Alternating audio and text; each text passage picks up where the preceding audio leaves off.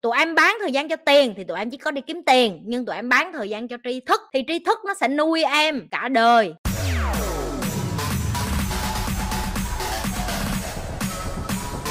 Hỏi đi em. Có công việc ở trên công ty em ừ. đi làm lại. Ờ, em nhận thấy là mình không có cân bằng được thời gian để làm tốt được cả công việc và em lại đăng ký thêm một cái khóa học marketing. Tức là em đã đăng ký khóa học trước khi mà em học với em vào team rồi nên em thấy là uh, em đang bị overload và không biết sắp xếp thời gian như thế nào để ừ. hoàn thành cái công việc nó tốt hơn ừ. thì em không biết có phải là đang hơi tham lam hay không đúng và em nên phân thời gian như thế nào ừ. và thay đổi cái cách làm việc ra sao để hiệu quả hơn em đang tham lam là cái chắc cái đó thì chắc chắn rồi thêm cái nữa là cái công việc mà em đang làm ở trên công ty hay là em work from home em làm việc tại nhà em đang work from home sang tuần ừ. em mới lên công ty ạ ừ. nếu như em làm việc work from home thì em vẫn có cái thời gian dư trong cái khoảng work from home đó để em làm những cái chuyện như em vừa mới nói đúng không tại vì không có ai quản lý em trung thực với nhau đi tụi mày không cần phải giả dạng chăm chỉ ngày 8 tiếng đồ mà danh ai đồ yêu cái đi đái đi ỉa rồi cũng làm được. Thêm cái nữa mỗi ngày trung bình em phải làm trong tổ à, tổ tình nguyện viên bao nhiêu tiếng một ngày? Ít nhất là 3 tiếng trung ừ. bình trung bình. Mẹ có 3 tiếng đồng hồ sáng sớm bà tập thể dục xong bà làm rồi trước khi bà dịp đi làm đi bà có 3 tiếng đồng hồ làm như nhiều lắm. Chị sẽ nói cho em ngay tại sao em vẫn làm được nè. Tập thể dục bốn rưỡi xong đúng không? Cho là chị như dạy thêm một tiếng đồng hồ nữa là có phải là năm rưỡi là là sáu giờ sáng sáu rưỡi xong. Cho là sáu rưỡi luôn là tôi cho mày đi ăn uống đá gì ăn sáng rồi dụ mày luôn được chưa? Sáu rưỡi tới bảy rưỡi bảy rưỡi đến tám rưỡi tám rưỡi đến chín rưỡi chín giờ khoảng 9 giờ mới bắt đầu làm đúng không? Ờ hai tiếng rưỡi đó mày làm xong mẹ đó rồi nếu mà mày tập trung bà nội. Em để hai tiếng rưỡi đó như hồi bữa chị nhi nói buổi sáng là nên dành thời gian cho bản thân là đọc sách với học tiếng anh á. Ừ. Thời gian buổi sáng em mà đọc sách với học tiếng Anh uh, công việc thì em để qua buổi tối. Ok rồi em làm ngày 8 tiếng xong 5 6 giờ chiều em xong đúng không? Tầm 7 giờ 7 giờ cho mày ăn cơm 15 phút, mẹ mày ăn cái quần gì tiếng đồng hồ, không có vụ coi, trừ khi mày vừa coi phim Hàn Quốc mày ăn thì mới tiếng đồng hồ thêm 15 phút nữa là mày vẫn có tới 4 5 tiếng buổi tối làm cái quần gì trong khi mày chưa có bồ, chưa có trai. Trời đất ơi, mấy cái con này lòi ra là vẫn làm biến trời ơi, má.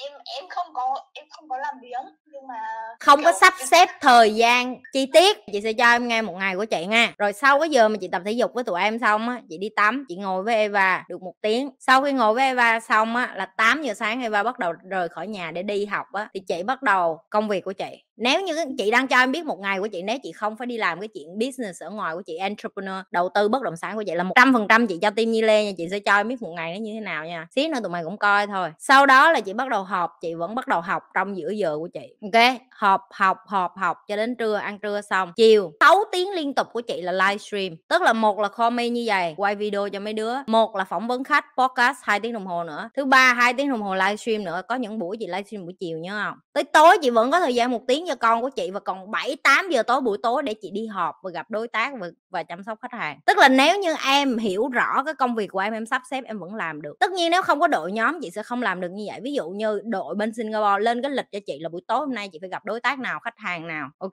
Tại vì chị chỉ cần nhìn vô cái lịch để chị đi thôi. Lịch của Việt Nam cũng vậy, các bạn ở trong team Việt Nam cho chị cái lịch, chị ngày hôm nay chị phỏng vấn khách nào, mấy giờ, hôm nay call me của chị mấy giờ, hôm nay livestream của chị mấy giờ. Em phải có người hỗ trợ cái đó là chắc chắn, nhưng nếu như bây giờ em chưa có điều kiện để có người hỗ trợ như chị, thì em bắt buộc em phải là người lên cái kế hoạch từ cái ngày trước cái ngày mà em bắt đầu làm luôn. Tức là chị biết rõ lịch của chị ngày mai sẽ làm cái gì, chị biết rõ lịch của chị một tuần tới, mỗi ngày chị phải làm cái gì chị đã biết rồi. Nếu như tụi em vẫn còn sống theo cái kiểu là nước đến chân rồi mới blend thì đó là lý do tại sao em cảm thấy overload. Tại vì em không có schedule hay còn gọi là em không có kỹ lưỡng trong cái việc là mỗi tiếng gọi là cái khoảng thời gian chết á, hiểu không? Chị không có để thời gian của chị chết ở giữa. Cái ngày mà chị break nghỉ ngơi thì là ngày nghỉ ngơi. Ví dụ như ngày hôm qua là chị nghỉ ngơi, ngày hôm qua chị dành thời gian để sinh nhật với và ngày hôm qua là ngày nghỉ ngơi của chị. Thì ngay cả cái ngày nghỉ ngơi em cũng phải lên lịch như vậy luôn, ok? Rồi bây giờ mỗi sáng của em nói, ví dụ như em hai tiếng đồng đồng hồ em dành cho em. Nội cái chuyện tập thể dục với học với chị là em đã dành cho em 2 tiếng rồi, hãy thêm 30 phút học tiếng Anh nữa là được, hiểu chưa? Cho đến khi hết 99 ngày của chị, đó là cái lúc em tạo thành thói quen rồi đó, bây giờ nó hai tiếng đồng hồ đó là hoàn toàn của em, đúng chưa?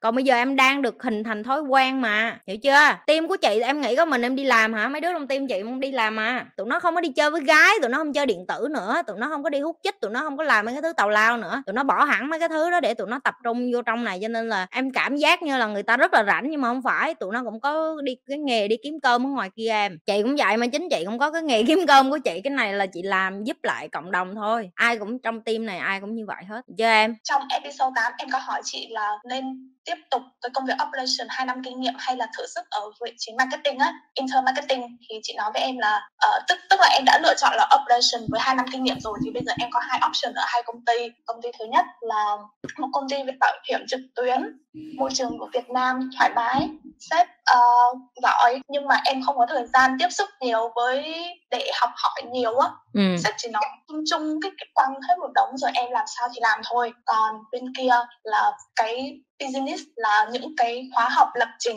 cái môi trường là có sếp tổng là một uh, là công ty của thụy điển. Uh, nhưng mà em tức là ở trong cái nội bộ nói với em á là công ty đang thay đổi nhân sự rất là nhiều, tức là tình hình công ty đang biến động. Nếu mà em vào đây á, cũng không biết là như thế nào ấy. Thứ nhất là chị sẽ nói với em, nếu là hỏi là chị chị sẽ đi qua học công ty nước ngoài, ok? Rồi ờ, tại sao chị học? Chị không có tin vô mấy cái đứa nhân sự chỉ có những cái lũ yếu đuối và sâu bọ mới đi nói xấu sếp của mình rồi đi đục quấy thôi ok? Và những cái loại đó xứng đáng bị đuổi. Chị sẽ nói thiệt với em là rất nhiều người bây giờ nói là ơ cái môn mình này nhiều người bị sa thải bị đuổi việc vì covid này nọ. Tất cả mọi người phải tự chịu trách nhiệm với cuộc đời của mình đừng có đổ cho covid đừng có đổ cho sếp đừng có đổ là ơ nhân sự nó. Ủa vậy giờ tôi đưa cho mấy người cái ghế của mấy cái ông tổng này mấy người làm được không không làm được. Vậy thì đừng ngồi đó và kêu là ơ tại sao họ lại đuổi nhân sự tại họ không trân trọng nhân tài không phải. Có là nhân tài đi chăng nữa em cũng phải tự lo cái bác sĩ tiếng anh nó gọi là you need to take care your own backside nghĩa là bạn phải phải chăm sóc cái đích của bạn chứ không phải chăm sóc cái đích của bạn hết á. Ok? Khi em đi làm em có tiền em dùng tiền đó để làm gì? Em dùng tiền đó để em du, du, du lịch em đi hưởng thụ em không có đầu tư em không có học em không có nâng cấp. Khi bão nó đến khi bệnh nó đến khi dịch nó đến tại ông sếp mà tôi mới mất việc không có.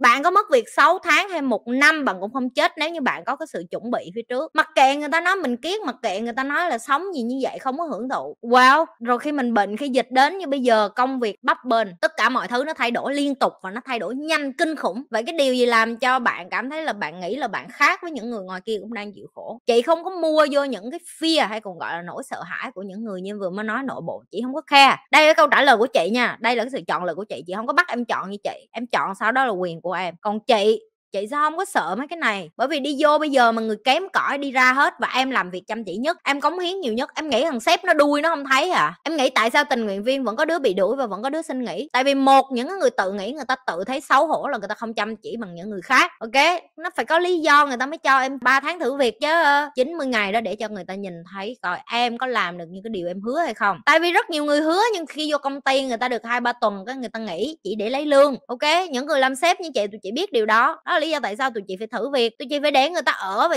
tụi chị phải đưa hết cho người ta làm coi người ta có làm được như người ta hứa hay không. Lúc vô ngày đầu em hứa với chị em sẽ làm cái này em sẽ cống hiến cho cộng đồng việt nam. À, em cũng sẽ là một phần như những người trẻ hứa cái cục cất làm đi đâu tao coi coi mày làm được không? Có đã hứa cái cục cất và tụi em cũng sẽ như vậy. Em đi xin việc, sẽ có người này người kia nói vô. Mấy cái con sâu bọ đó, chị nói thẳng với em, nó xứng đáng bị đuổi việc và nó xứng đáng bị mất việc và nó xứng đáng được làm ở những cái môi trường toxic và độc hại. Tại vì cả cuộc đời của tụi nó chỉ đi ra để express hay còn gọi là phát tán những cái tiêu cực những cái ấu trĩ những cái ngu, ngu dốt năng lực không có xong đi đổ lỗi cho thằng sếp. Và nếu như thằng sếp nó tệ như vậy học cho giỏi để lên làm sếp nó sa thải cái thằng sếp đó hiểu chưa? Rồi câu trả lời của chị là tùy em trái hay phải là do em chọn. Bên này có tốt hay không nó là ổn định nó là có tiền ok? Nhưng em sẽ mất hai ba năm em sẽ vẫn già nó sẽ không học được gì thêm ngoài chuyện em kiếm được thêm tiền. Bên này có thể là rủi ro nhưng cái gì cũng vậy nó có rủi ro thì nó có cái phần thưởng theo kiểu rủi ro. Em có bị đi ra khỏi sớm thì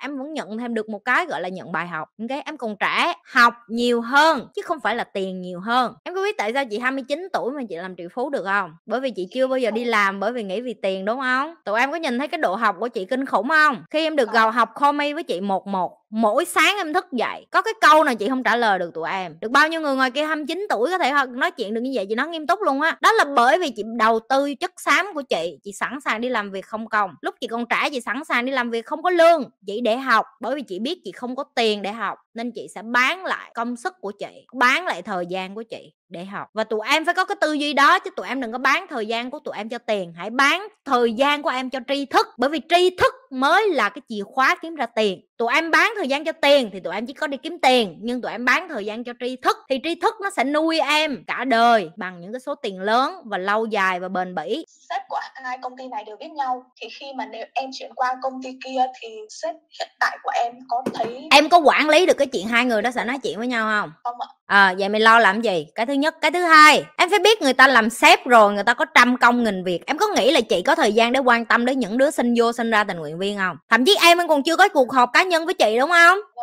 em chỉ được họp với mấy anh chị ở dưới. Tức là em phải biết những người như chị đã gọi là làm leader cái thời gian của tụi chị nhiều. Tao không có quan tâm tới mấy mấy cái con tép như tụi mày. Tao bận lo cái quan tâm bự hơn. Chị bận đem kiến thức này về cho người việt nam. Chị bận mời những cái khách mời bự. Chị bận đi giao tiếp. Chị bận gặp những cái người này và còn vin hay còn gọi là nói với họ là chị đang làm cái điều gì và chị muốn họ cùng chị giúp cho người việt nam này nọ. Chị không có thời gian đi xuống để nói, để quan tâm tới thêm một một cái đứa nhã nhát nào đó. Cuộc đời nó như cục cức đi vô tim chị xong đi ra. Cuộc đời nó đã như cục cức mắc mới gì tao quan tâm cuộc đời nó chưa đủ cất nó chưa đi đủ đủ đi vô đây tại sao tao phải quan tâm? Em hiểu chưa? Thì những cái người làm sếp như em nói á họ không có rảnh đâu em. Em nghĩ tụi chị rảnh lắm hả? Trời ơi tao không có rảnh gì đâu mày ơi. Tao mà có thêm thời gian tao còn nghĩ coi tao, tao làm được thêm bao nhiêu chuyện nữa. Chứ tao thời gian rảnh rồi đi lo thêm cho một con đi vô đi ra tim của tao. Và bất cứ ông sếp nào cũng vậy chị nói thẳng với em họ không có thời gian đâu. Ok cái chuyện đó là HR làm hay còn gọi là quản trị nhân sự làm. Và họ cũng không có cảm xúc trong công việc đâu em. Em tưởng có một hai người đi vô đi ra công ty hả? Đối với họ cái chuyện đó là bình thường họ không có cảm xúc với điều đó luôn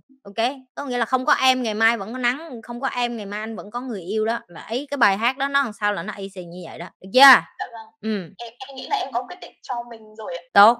Dịch này nè em cũng có kiến thức về công việc của em nhưng mà công việc đó trong mùa dịch này không thể nào mà tiến triển được. Như vậy em có thể bỏ cái công việc này mà chạy qua công việc khác được ừ chứ mày ngồi đó làm gì? Con này cái tôi to như cái nhà nghe to như cái cung đình. Ừ, em có kiến thức về cái công việc của em vậy? Giờ mày có tiền từ cái đó không? Tao đéo quan tâm mày có kiến thức không? Giờ tao hỏi cái mày biết có kiến thức á mày móc ra được tiền từ cái đó cái đó không? Móc không ra được tiền ngầm mỏ đi xuống đi làm đi kiếm cái thứ kiếm ra tiền. Có kiến thức có kiến thức sức để làm cái cục cức gì thời này. Mấy cái thằng tiến sĩ kỹ sư dơ bằng cấp ra đây cho tao kêu giờ mày không kiếm được tiền mày có đưa cho tao ba chục cái bằng đại học ngó ở đây tao cũng ngó à. Tao ngó cho vui à chứ tao cũng khinh à. Mẹ dịch tới không làm ra tiền vậy vậy giờ em thấy kiến thức của em vô nghĩa không em? À, đã ăn hại rồi còn đi vô đây không chịu chấp nhận mình ăn hại nữa. Dạ cũng lại má self learning tự học đi kiếm kiến thức khác học học cái gì mà kiếm tiền giùm cái.